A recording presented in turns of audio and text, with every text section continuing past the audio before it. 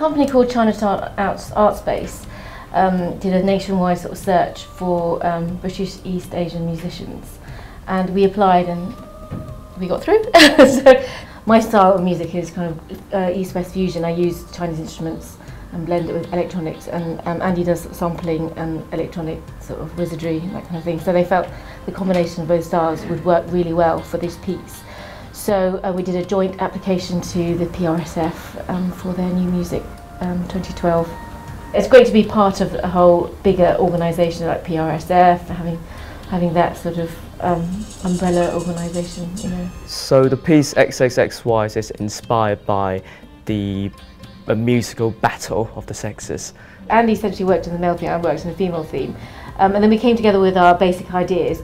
And we, we wanted to do a um, East-West fusion thing, you know, and kind of incorporate ele elements of, you know, Chinese digital instruments with, with electronics and sampling and that kind of That was our, our idea that we talked through um, conceptually. Um, and, and then we kind of, as Andy said, we got together and, you know, kind of played around with different ideas, got keyboards out, instruments out, recorded some bits, cut stuff together, went away separately and worked on stuff, came together, and that kind of, you know, that kind of organic sort of process sort of occurred, didn't it? Yeah, so, so the whole process is kind of, the whole process is more like, let's work on individual parts, then we come together, then we have kind of, we bounce idea back and forth, mm.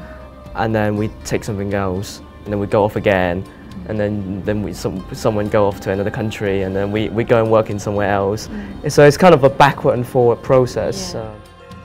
With the female theme, I used um, acoustic instruments. Uh, the, so the main theme is played on a solo violin. Um, there's um, female voice in there. There's uh, you know cello, and I wanted to keep it very sort of simple, one lines and, and kind of quite airy, you know, and obviously melodic. The male theme is more beats orientated, it's very heavy beats, um, quite a strong bass line, um, it's quite distorted kind of sound. Um, so yeah, it's, it's quite a, it's almost a direct contrast between mm. the two, I think. So part of the process is also the junk percussion. Mm. Um, we ran two workshops uh, last week with the kids in Chinatown. And yeah, we, we not only we made a really good day out of it, but we also made some recordings for, for it as well.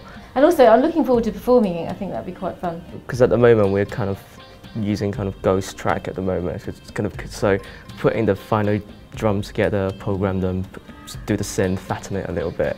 I think everyone likes people to like their, their music. And, you know, I think there's always a little niggling sort of thing that people hate it. but, you know. Hey. They're going to love it, I reckon.